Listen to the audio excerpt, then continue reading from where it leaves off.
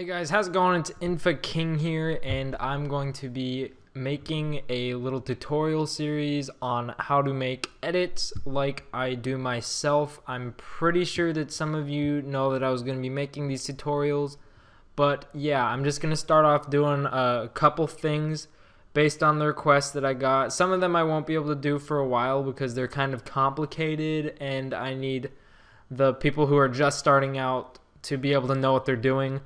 So yeah, I have this little folder right here and it has all the things that we're using. This is the original clip. Uh, hopefully it doesn't lag too much. But yeah, this is what it looks like. Normally, it's pretty, yeah, it's pretty simple. Just go exit out of that. And this is what it's going to look like in the end. Just open it up.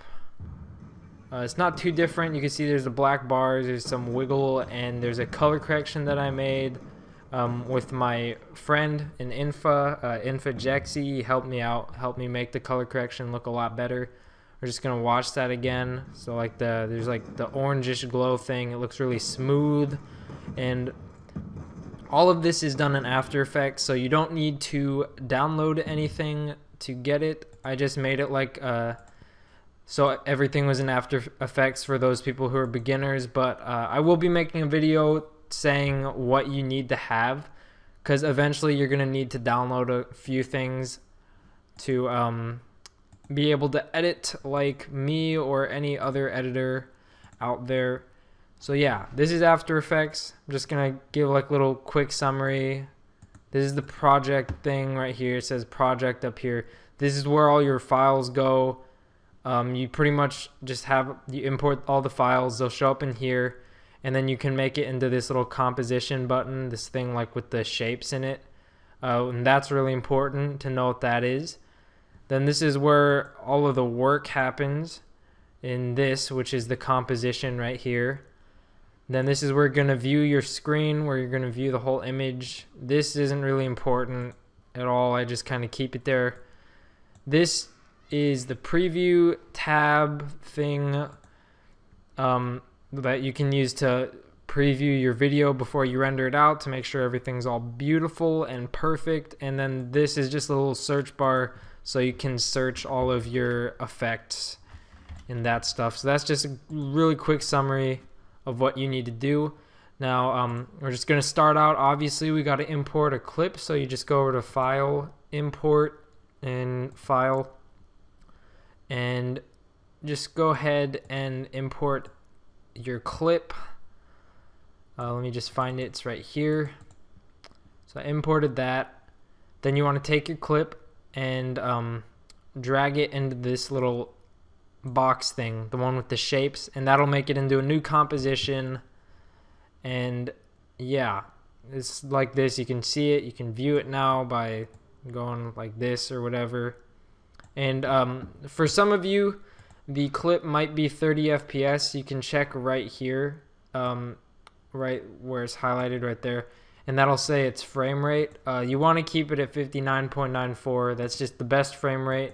If it does say 30 on it though, you can right click on it, go to interpret footage main, and then um, click this little thing and then make it 59.94 FPS.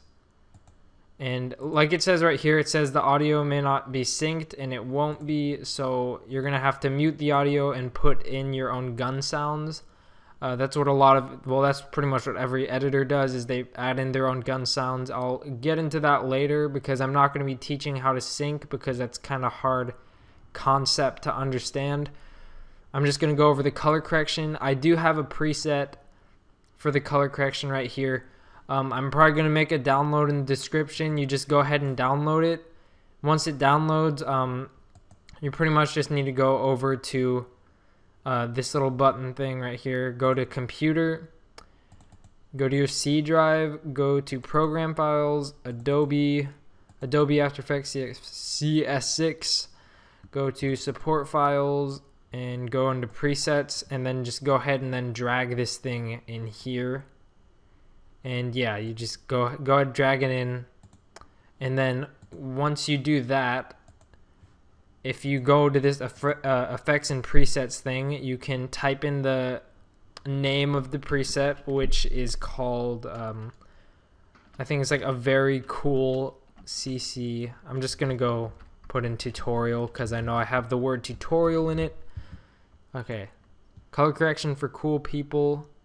Just bring that up. Uh, but you don't want to bring it into the clip. You actually want to make an adjustment layer. And pretty much what an adjustment layer does is um, it affects everything that's underneath it. So let's say that there's a clip underneath here. Then the adjustment layer will also affect that.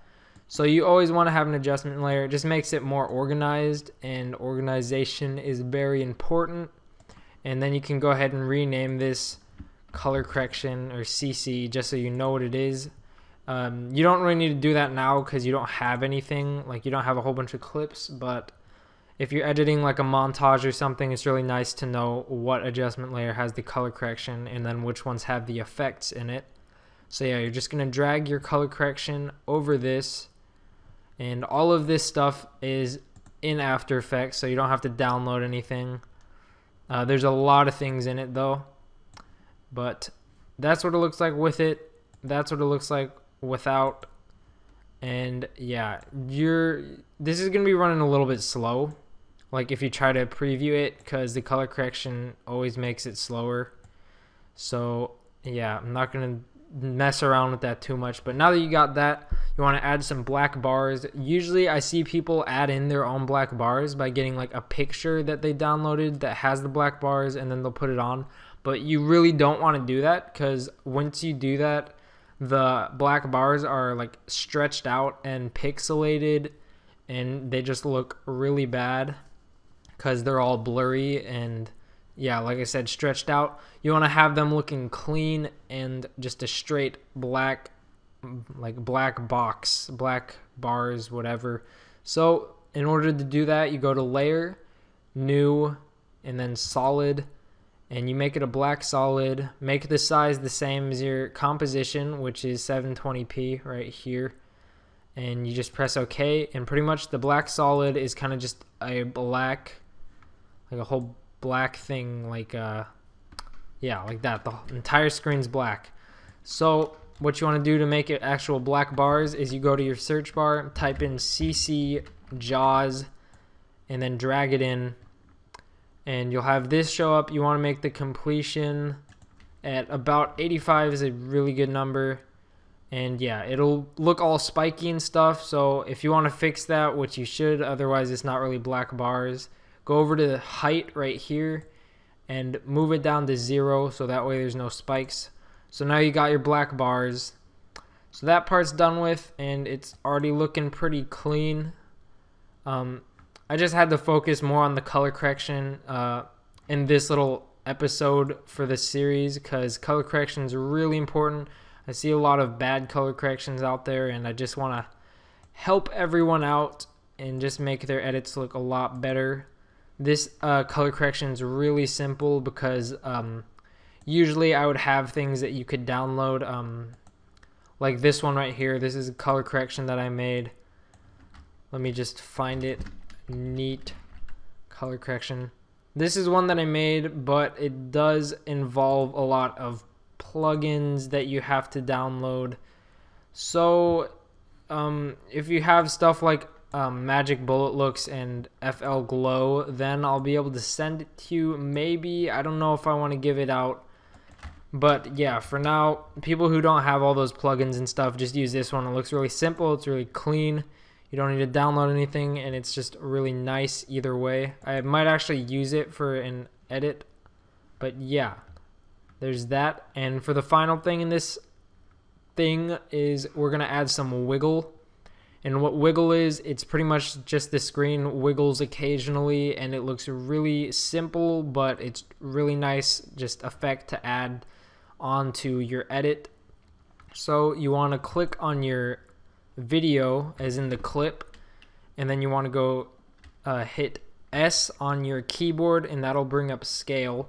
So you want to move the scale up to about 107 and that just makes it up yeah it scales it up to 107% of the size. And then you want to hit R on your keyboard and that brings up rotation. And you want to hold alt on your keyboard and click on this little stopwatch thing and that'll bring up this this whole thing right here. So you want to delete this transform dot rotation thing that it says and type in wiggle 1 comma 2 and if you look at this outline thing right here you can see that it moves a little bit like that. Um, yeah it just moves and that's not all you want to do. You also want to click on the clip and press key or not key uh, press P on your keyboard and that'll bring up position you want to hold alt and then click on the little stopwatch again and type in wiggle 1 comma 12 alright I'm pretty sure the other one was uh, 1 comma 2 and yeah you want rotation to be 1 comma 2 and you want position to be 1 comma 12 you don't want as much rotation as you want position. Um, so yeah that's pretty much that. And that's pretty much it for this tutorial um, like I said I was I'm gonna be gone um, on a trip so I'm probably not gonna be able to get another tutorial out for a while. So hopefully you guys can at least learn something from this and use it like the color correction you probably don't have because I made it with my friend of course. So you could always use that even if you have color corrections you could always test this out maybe change a couple things to it maybe add some magic bullet looks or something to make it look really cool and yeah that's pretty much it um, now, though, I'm going to show you how to render it. Um, actually, I need to say a couple things first. For this preview thing, what I'm doing right now is I'm RAM previewing the thing. And what this does, it makes it, uh, it renders out every frame. And pretty much what happens is I can watch the video and I can also listen to the audio. I know a lot of people have troubles saying that they can't hear any audio when they play a video. And usually that's because they're pressing on this little play button but you don't want to do that. Um, nobody ever really uses that who's an editor. I haven't touched this play button since I've gotten After Effects I think. You want to click on this thing way to the right and that'll it's a lot slower but it works it just renders out every frame and you can see there's sound in it now um, just some people don't know that so I might as well tell them and yeah, looks nice. Looks a lot better than the original. This is what it looked like without anything. It looked really boring. The gun looked, the colors look bad, and then you add the color correction. It looks really clean. It looks nice. And yeah, now we're gonna go on to rendering it. You just want to go to File, Export, and Add to Render Queue.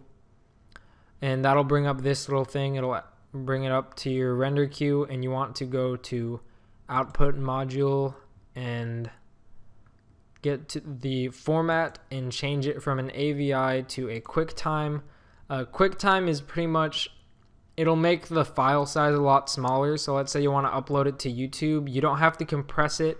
And at first I compressed the videos, but it lowered the quality a lot and um, QuickTime pretty much makes the quality exactly the same and the file size is still really small. So you want to make it a QuickTime and then for those of you who render it out and you still can't hear any audio, that's because you don't have this thing ticked.